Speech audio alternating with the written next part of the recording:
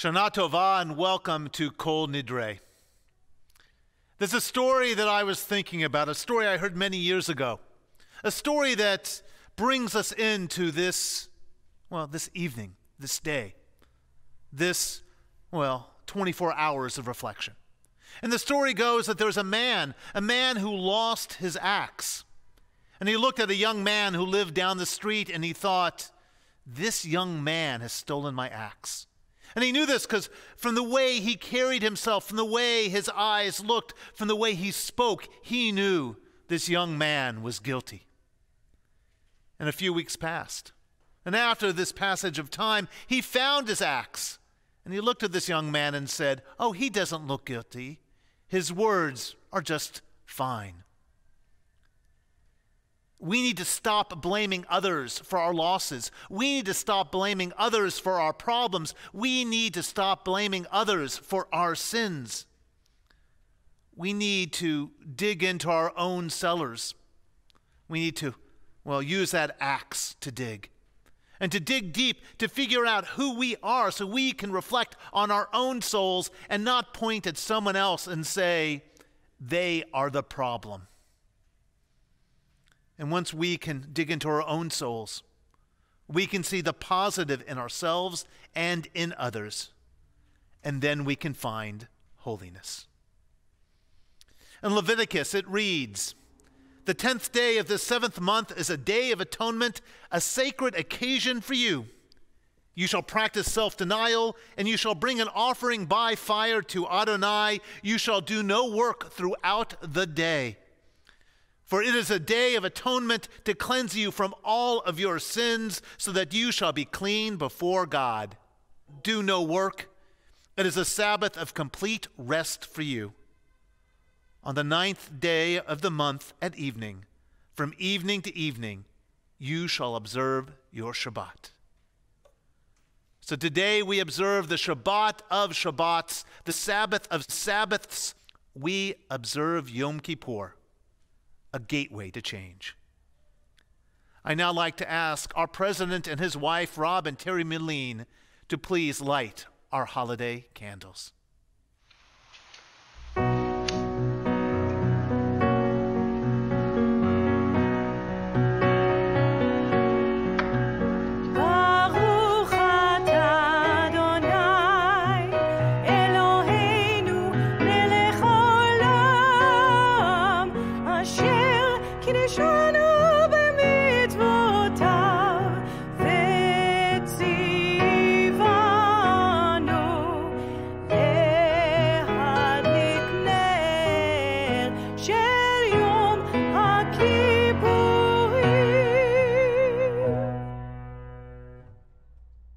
Now we turn to page nine for the Shehecheyanu, a prayer we say to remind us of the blessings that occur at this time, well, during this season, each and every year.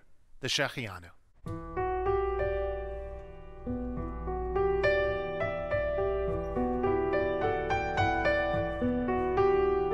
Baruch Adonai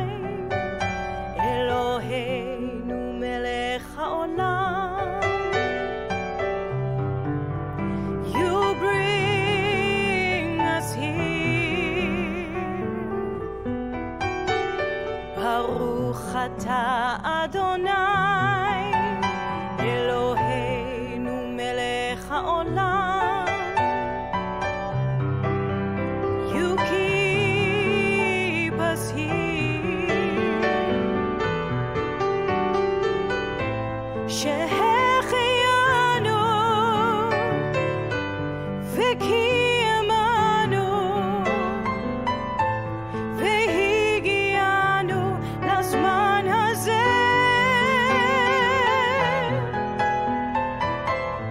שהחיינו וקיימנו והגיענו לזמן הזה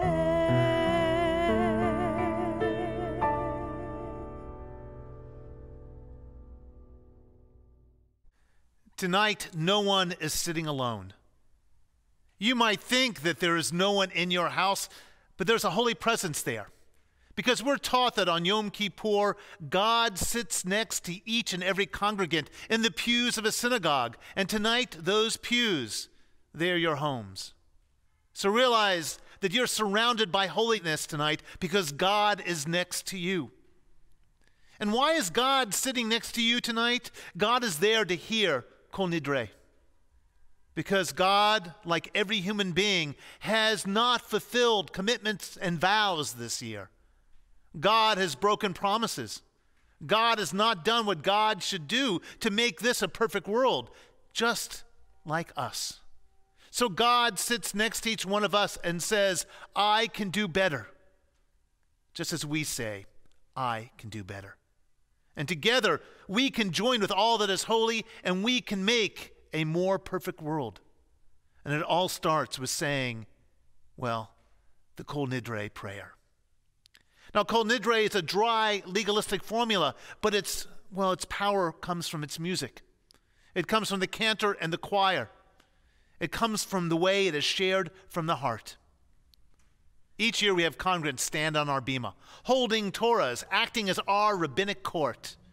Each year, each year they stand there, representing all that is holy, representing the forgiveness we are given for breaking our vows. This year, we will have congregants holding Torahs. You'll see a montage of congregants holding Torahs in front of their homes and in their backyards, acting as our court, absolving us of all, well, the commitments we have not fulfilled. We now turn to page 18 for Kol Nidre.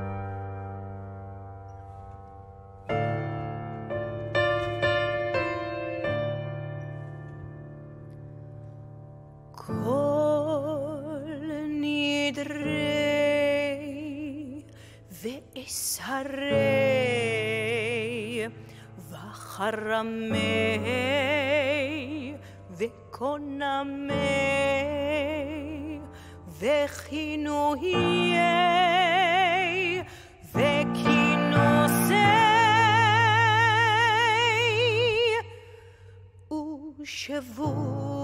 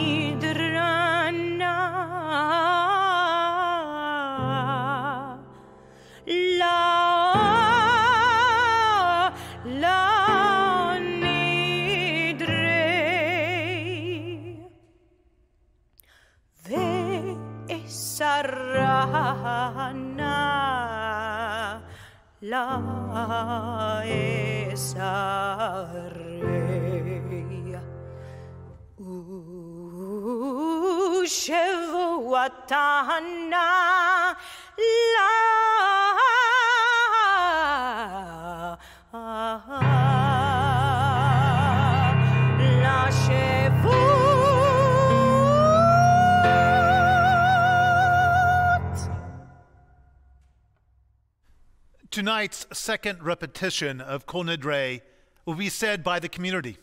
I'd like everyone to join me on the bottom of page 18 and read along with me. Together. All vows, resolves, and commitments, vows of abstinence and terms of obligation, sworn promises and oaths of dedication, that we promise and swear to God and take upon ourselves from this day of atonement until next day of atonement, may it find us well. We regret them, and for all of them we repent.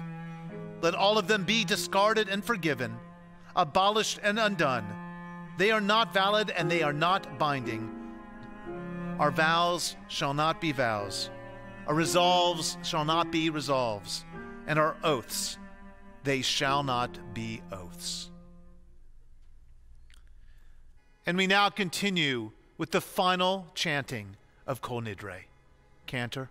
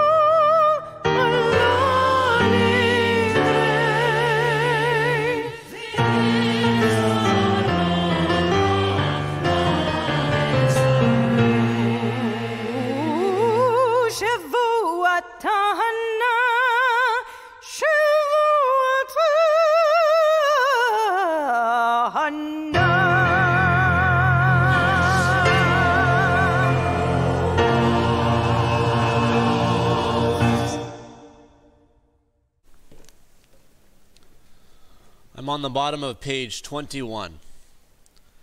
I bow, I face the ground, I fall before the Most High.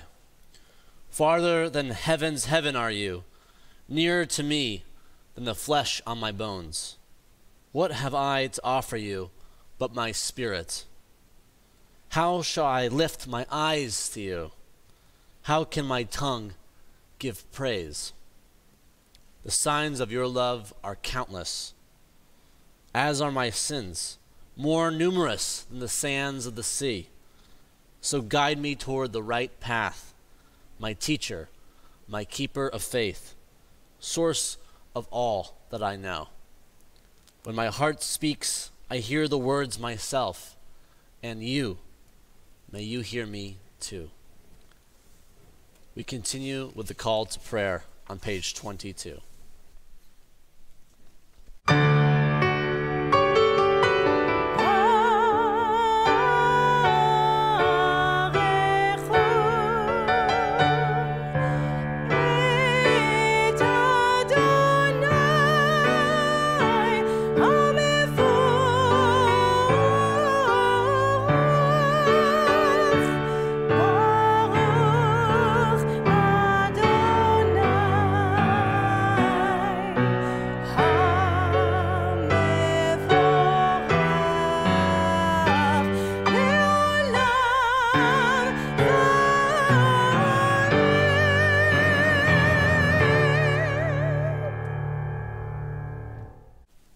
Please be seated.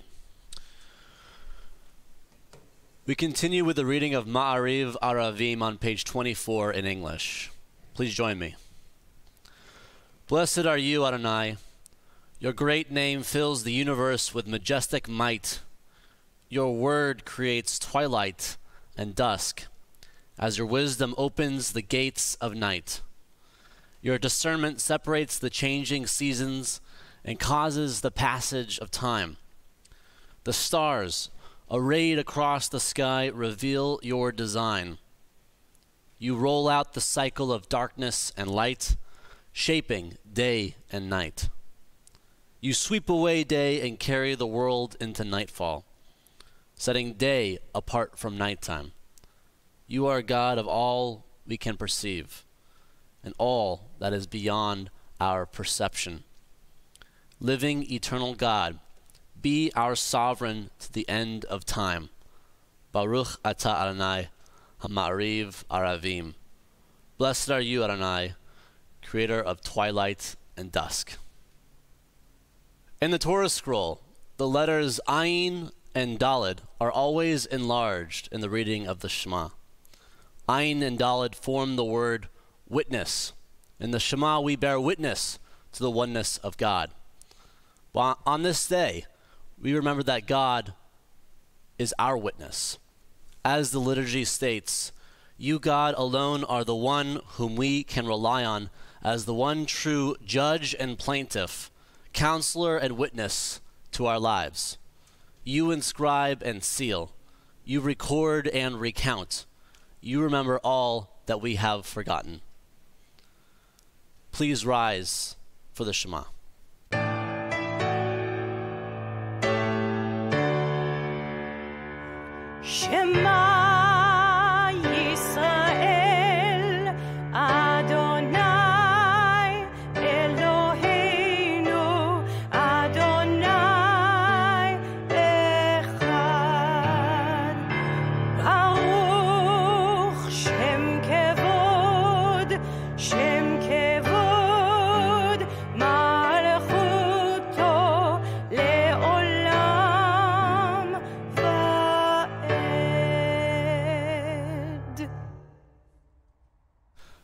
please be seated. We continue on page 30 with the V'ahavta. Via Hafta, et Adonai Elohecha, bechol levavcha, uvechol nafshecha, uvechol meodecha, vehayu hadvarim ha'ele, asher anochi, מצווך היום על לבביך ושיננתם לבניך ודיברת בם בשבתך בביתך ובלכתך בדרך ובשוכבך ובקומך וקשרתם לאות על ידיך והיו לטוטפות בין עיניך. וכתבתם על מזוזות ביתך ובשעריך למען תזכרו ועשיתם את כל מצוותיי והייתם קדושים לאלוהיכם אני אדוני אלוהיכם אשר הוצאתי אתכם מארץ מצרים להיות לכם לאלוהים אני אדוני אלוהיכם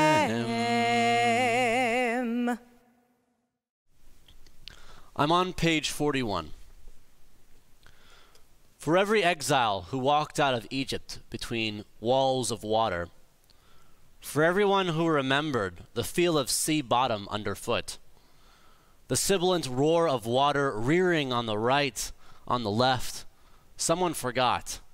Someone scanning the dry horizon for a well, or already mourning the musky smell of autumn in her father's fig trees, forgot the hosannas, and by the bitter waves of Mara, forgot the flash of dancing feet, the shimmer of timbrels. For every proselyte at Sinai, someone never heard of horns at all. Someone turned back from the mountain to bank the fire, feed the baby, steal a secret moment with another.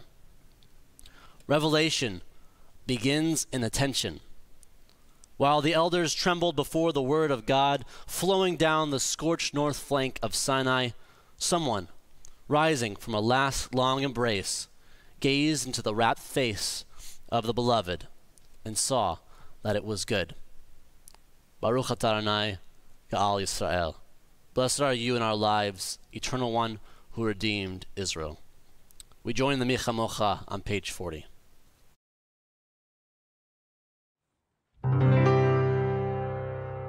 ומלכותו ברצון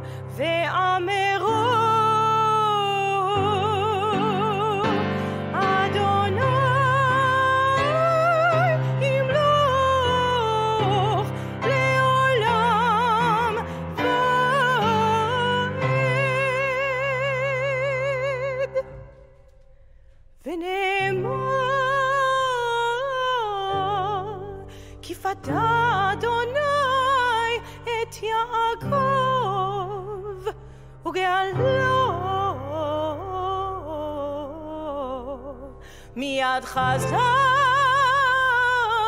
ממנו ברוך אתה אדוני גל ישראל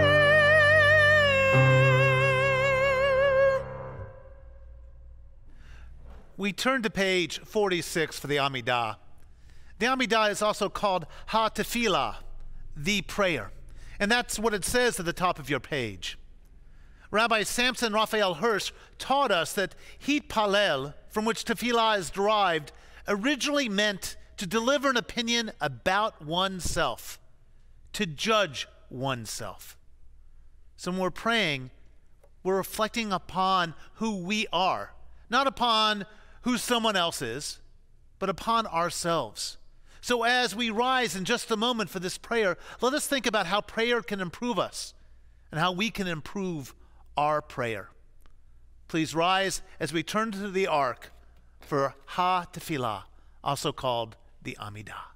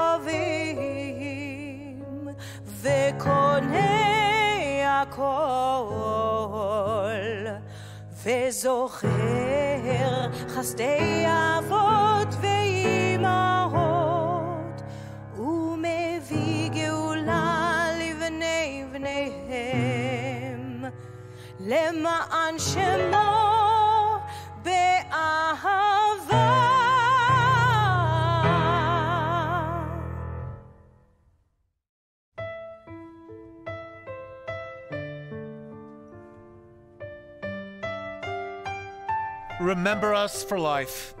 Sovereign God who treasures life. Inscribe us in the book of life. For your sake, God of life.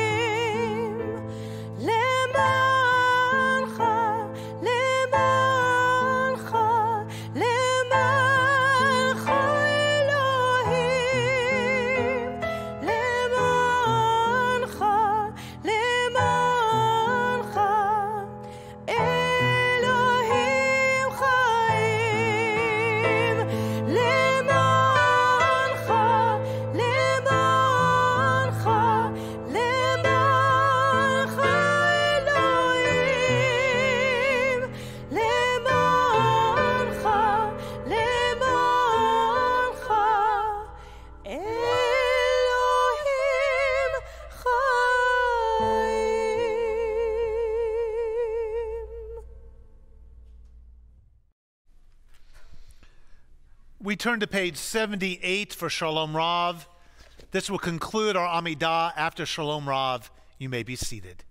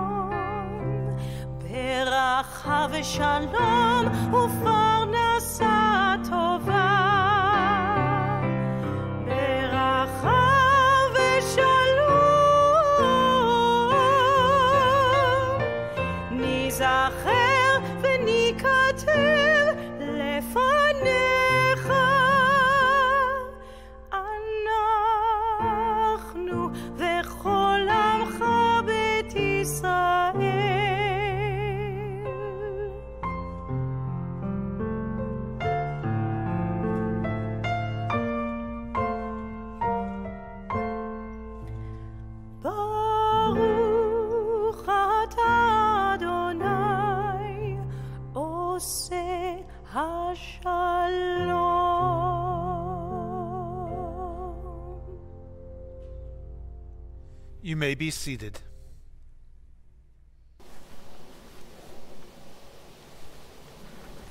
In 2012, I just finished my first year as Kol Tikvah's rabbi.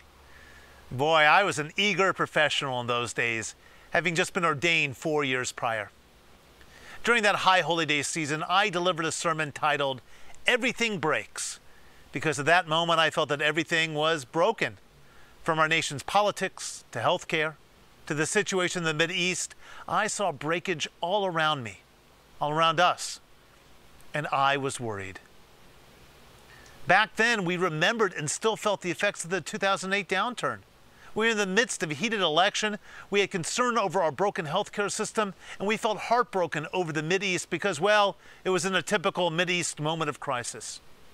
Now I look back and see that 2012 was a pretty good year. Actually, a great year. Yep, I'd go back to 2012 right now if offered the chance.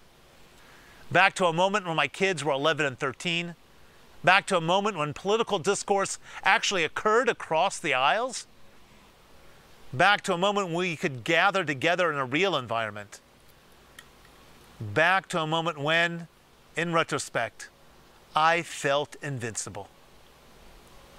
Yep, 2012 looks pretty unbroken when looking back through the lens of time.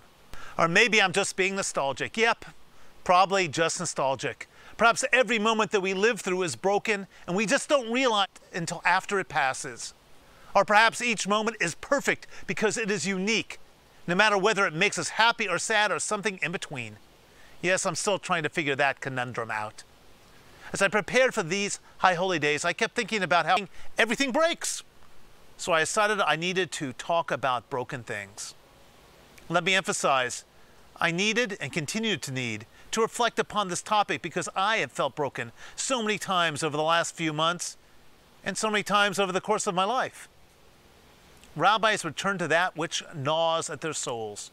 Our sermons are reflections of who we are and who we wish to be. If you want to learn about a rabbi, read through 10 years of his or her sermons, and you'll see repeated messages stated over and over again. So, brokenness. I need to return to it again. And let's admit it, Brokenness become an emotion just like love and hate and anger and joy and the feeling you get when you eat a perfectly cooked meal. Who would have thought it? Yes, brokenness is the newest of emotions. I'd like a side of brokenness with that plate of sadness. So let's start with some Bible. That's what rabbis do, and I think that we need to start by giving some respect to our tradition and to reflect on, well, that which is broken. So, what's broken in the Torah? God gave Moses a set of tablets, magnificent to behold. Moses proudly carried these tablets down a mountain toward the Israelites. But his pride soon turned into rage when he saw the Israelites dancing in front of a golden calf. That was a big no no. In his anger, he smashes the tablets, destroying them. After the Israelites repented, he returns up the mountain where God tells Moses the words to write upon a second set of tablets. He didn't break that set. He did not repeat his mistake. But, unlike Moses, how many of us have made the same mistake time and time again? Okay, now let's remember the ark our ancestors carried around in the desert. The ark lived in the Holy of Holies, and only the high priest could approach it, and only on Yom Kippur. What was in that ark? The Ten Commandments. And the Talmud, our rabbis taught that Moses did not just place the second set of tablets in the ark. At God's request, Moses also placed the broken pieces of the first set. Broken and whole living together. You see, even when something is broken, even when it cannot be repaired, even when it needs to be replaced, it can retain its kedusha, its holiness. But I've always wondered who picked up the broken pieces? Nowhere does it say, and then Moses bent down and lovingly picked up the broken pieces.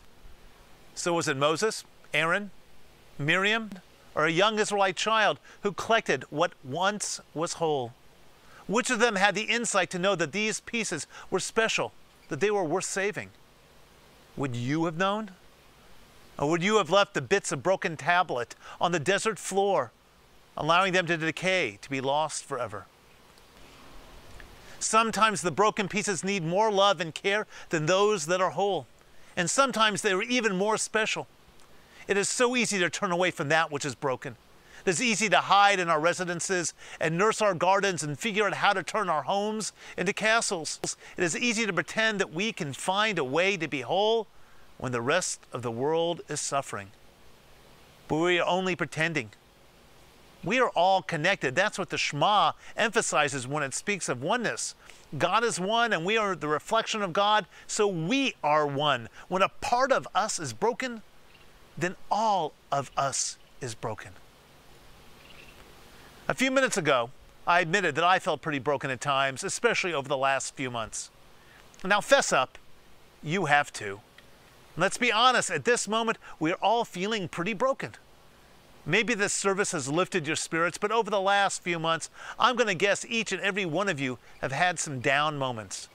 There are so many stresses finances, education, home life, work life, social inequality, and of course, where to find Lysol products at a reasonable price.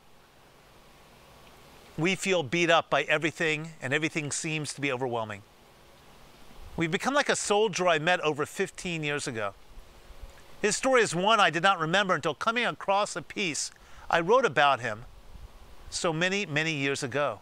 It broke my heart that I'd forgotten this moment because of its power. Let me share it with you. At the time, I was a student rabbi in Butte, Montana, and it was the weekend before Thanksgiving. This was some 12 to 15 years ago. I was traveling to Butte with a long layover in Salt Lake City. I sat at an airport bar between flights, drinking a gin and tonic and eating a pizza. The place was packed with rowdy travelers and soldiers going home for the holiday. Every seat was filled except for one at my table. So a soldier sat down next to me. An old soldier maybe 40. Hair thinning, someone who's been in the army a day too long. You on leave? I asked. He nodded yes. Stationed in Iraq? He nodded again. And then, without asking another question, he began to talk.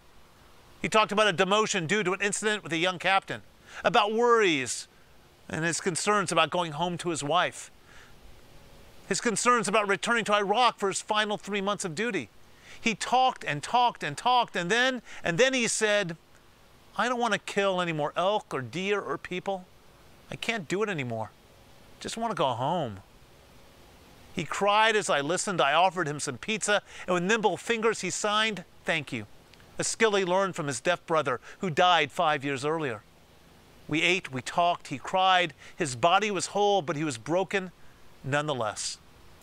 I pray that this man, whose name I never knew, found a path back to not wholeness, because that seemed impossible but to repair to a new normal. People break. Someone broke it in your home, in your life. Are you broken? Can you give them the help they need to feel whole again, to find a new normal? Can you ask for the help that you need? Just because someone breaks doesn't mean that they should be discarded.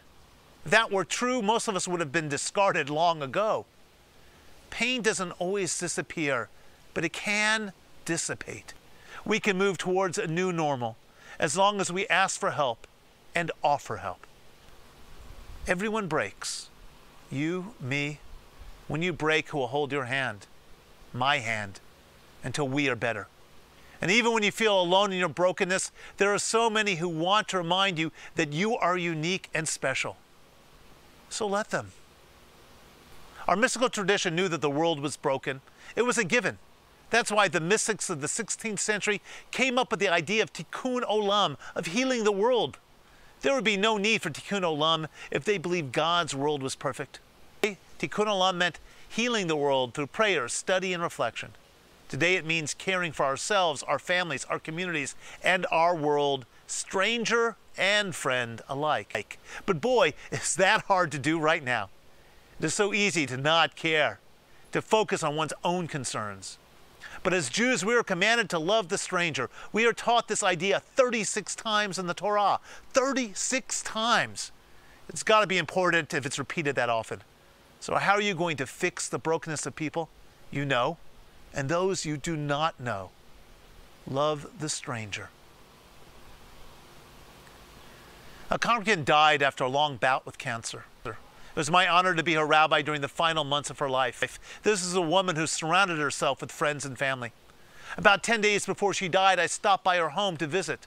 Her house is packed with people of all ages, some in the swimming pool, some watching television, some cooking in the kitchen, some socializing with each other.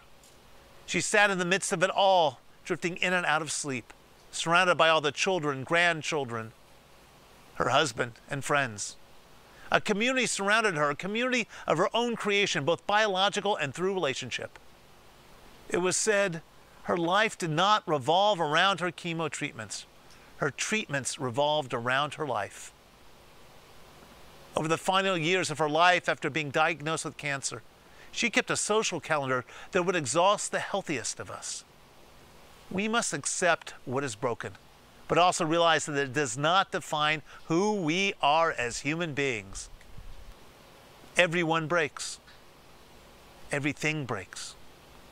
Even our bodies. When our bodies break, do we allow the breakage to define and control us, or do we accept what is broken and continue to live our lives as fully as we can?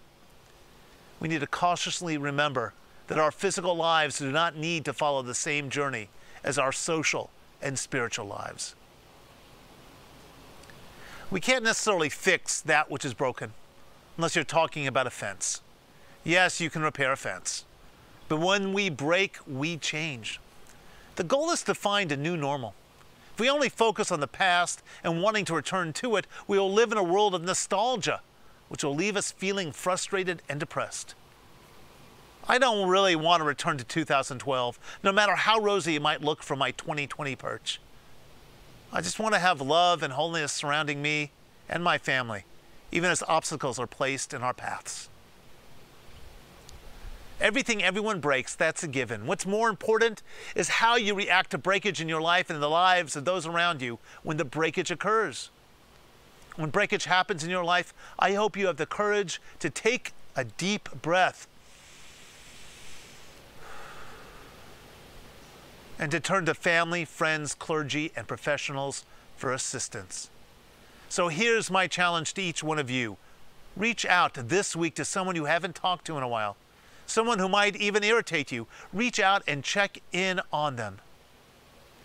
So much is broken right now, but as long as our spirits remain intact, as long as we reach out to others, as long as we remember that even as communal health is challenged, even as our unemployment rates are too high, even as we see social injustice all around us, even as fires burn everywhere, well, we are still whole. Yes, a bit bruised, but whole. And we're able to overcome the obstacles and challenges that surround us. So if you feel broken, ask others to help you feel whole again. Shana Tova Ketiva V'Chatima.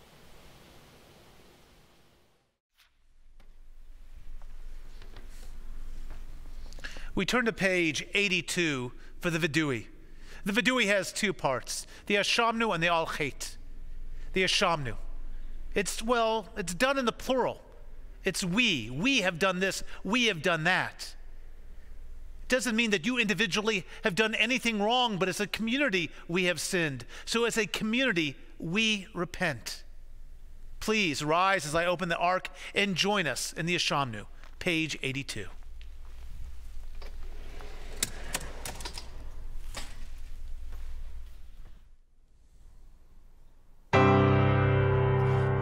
La the We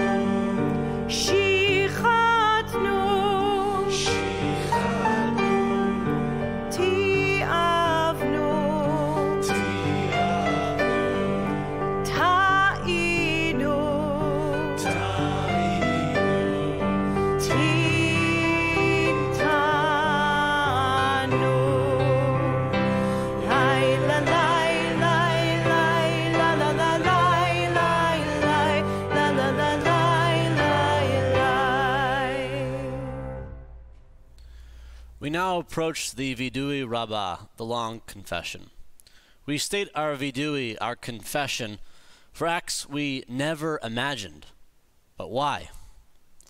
As Rabbi Lawrence Hoffman wrote, even if we did not personally commit a particular sin, we likely stood idly by when others committed it. How many issues did come to our awareness, yet they slipped by? We may be guilty by association of larger transgressions than we realize. We may never have committed murder, but we may have belittled another person to the point where he or she felt like dying. Or we may have bought a cheap product only obtained through what is essentially slave labor abroad.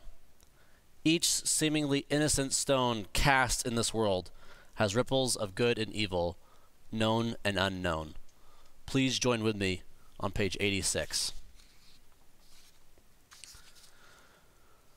Al shechatanu lefanecha, the ways we have wronged you deliberately and by mistake, and harm we have caused in your world through the words of our mouths.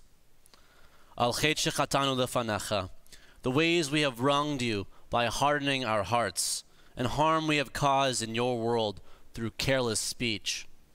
The ways we have wronged you through lies and deceit, and harm we have caused in your world through gossip and rumor. The ways we have wronged you by judging others unfairly, and harm we have caused in your world through disrespect to parents and teachers. The ways we have wronged you through insincere apologies and harm we have caused in your world by mistreating a friend or neighbor. Al the ways we have wronged you through violence and abuse, and harm we have caused in your world through dishonesty in business. Val kulam elohas lichot, slach lanu, machal lanu, kaper lanu. For all these failures of judgment and will, God of forgiveness, forgive us, pardon us, lead us to atonement.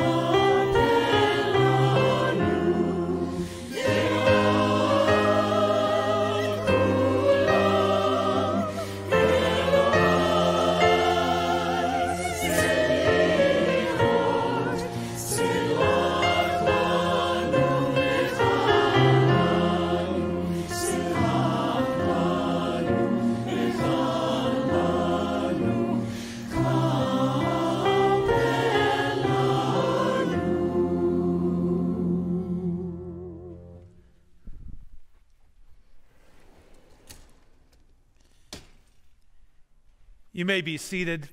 It's my honor to introduce Rob Moline, the president of our temple. He'll share a few of his thoughts with us this evening. Shana Tova. I'm Rob Moline, president of Kol. Like you, my wife Terry and I have had our lives stood on end these past six months. And in the intervening time, we all have shifted, adjusted, and have done our very best, altering our lives to stay safe for ourselves our children, parents, neighbors, and friends. And from the first days of this pandemic in March, your temple leaders have kept our congregation safe, providing love and joy as we have attended to the many needs of our community. Together, all of our efforts have enabled us as a community to weather these turbulent times and remain strong. We want to wish all of you a very good new year a much better year than the one that's just passed. We've been members of Kol Tikvah since its beginning, and we are loyal supporters. We give to Kol Tikvah because of what Kol Tikvah gives to us. Shortly after we moved in, we found our way to Kol Tikvah. And it was from that night on. It's like love at first sight. That's how we felt.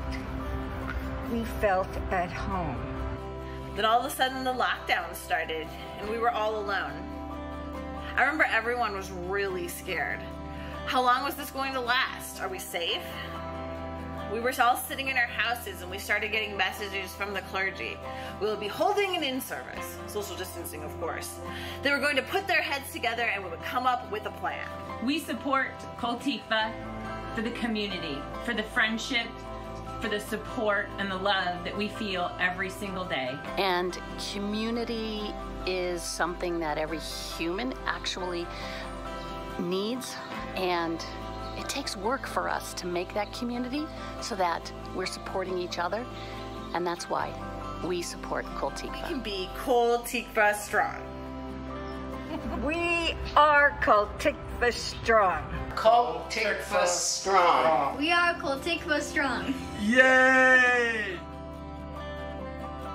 Hi, I'm Cynthia Deculus. Why do I give to Kol Tikvah? Well, that's easy. These last five months have been so unsettled. I stare at a computer screen all day. Our summer vacation plans were canceled. Family members are falling ill. And the kids are making the best of online learning. But throughout all this turmoil, the one constant has been Kol Tikvah. I am in awe of how the clergy and the senior staff transformed our community to this virtual world. My son Julian, who many of you have known since he was born, is applying to college. And he's going to chant the fourth Aliyah on Yom Kippur. One of the college applications asks him to comment on a place he considers home. When he read that question aloud at the dinner table, his sister Danielle said, Well, that's easy, Kol Tikvah. And we all agreed. It is going to be the easiest essay he writes because it will be from the heart. My family loves Kol Tikvah, and we depend on it. And I'm guessing yours does too. So please, this high holy day season, give generously. Give whatever is meaningful to you and your family. Any amount means a lot to Kol Tikvah. Don't stand idly by and don't expect others to participate. Now is the time. If ever we need to protect and build on this legacy, it is now. I encourage you to donate at a minimum of $360 so that your donation can be matched through the Kol Tikvah Donor Matching Fund. We need to keep Kol Tikvah strong, and we need to make it secure for ourselves, our kids, and our community. Please go to koltikvah.org and donate, and give generously now.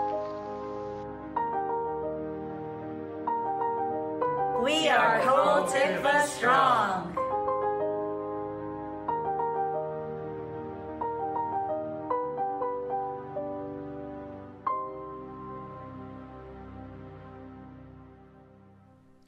we turn to page 107 for the 13 attributes of God.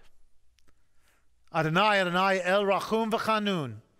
Adonai, Adonai, God, compassionate, gracious, endlessly patient, loving, and true, showing mercy to the thousandth generation, forgiving evil, defiance, and wrongdoing, and granting pardon. We now turn to page 114 for Avinu Malkeinu. Please read along with me. Avinu Malkeinu, Almighty and merciful, hear our voice. Avinu Malkeinu, we have strayed and sinned before you. Avinu Malkeinu, have compassion on us and on our families. Avinu Malkeinu, halt the onslaught of sickness, violence, and hunger. Avinu Malkeinu, halt the reign of those who cause pain and terror. Avinu Malkeinu, enter our names in the book of lives well lived. Avinu Malkenu, renew us for a year of goodness. Avinu Malkenu, let our hands overflow with your blessings. Avinu Malkenu, let our eyes behold the dawn of redemption. Avinu Malkenu, we pray, do not turn us away from you with nothing. Avinu Malkenu, welcome our prayer with love and accept and embrace it. Avinu Malkenu, act toward us as befits your name.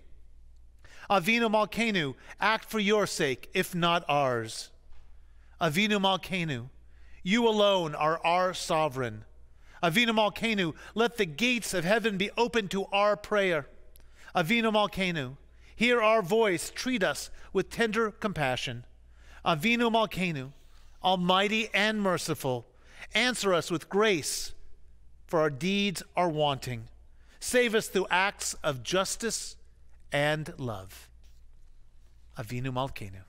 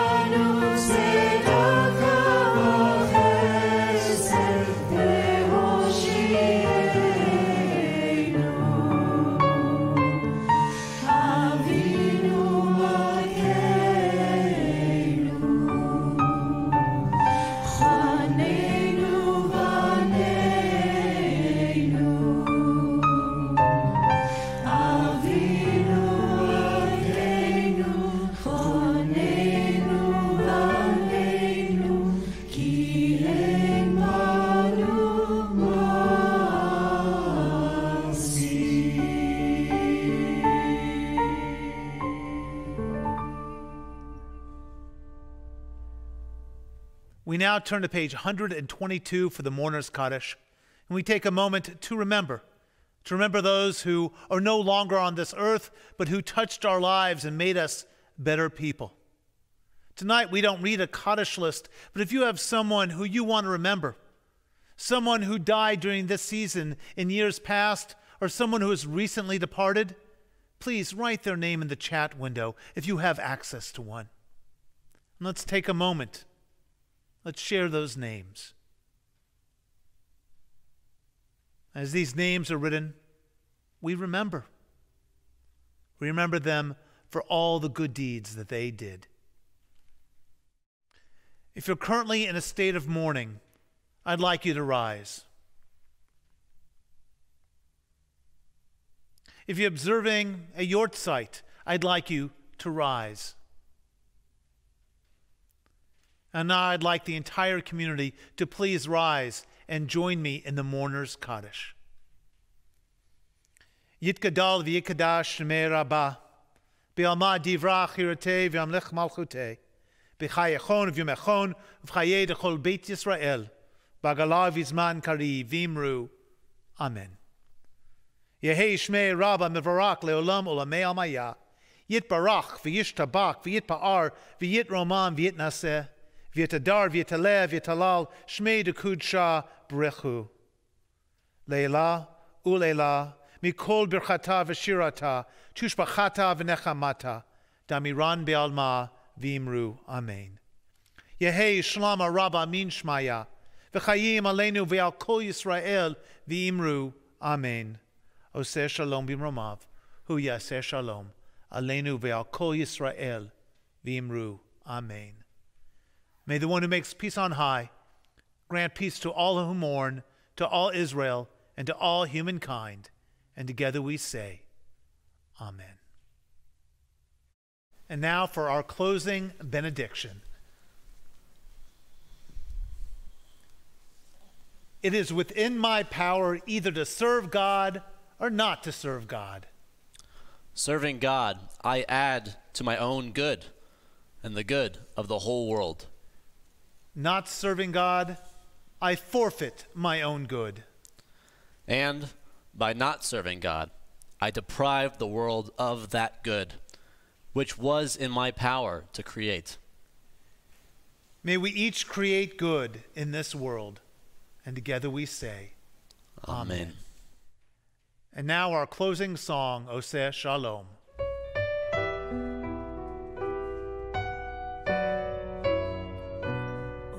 Oseh Shalom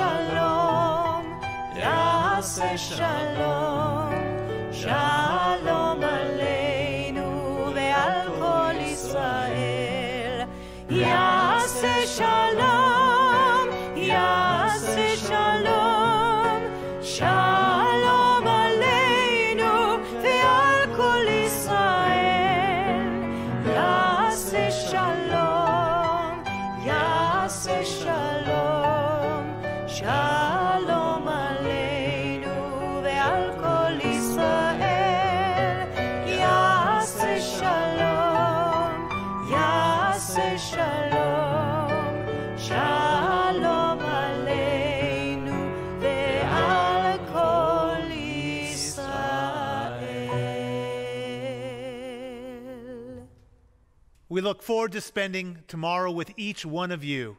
Chatima Tova. Good evening. I'm Rob Mullane, Temple President.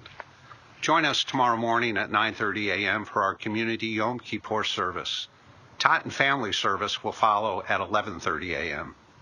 Please visit our website for more information on all of our Yom Kippur services and programs scheduled for tomorrow. Next Saturday, please join us at 6:30 p.m. for our Havdalah and Sukkot community celebration.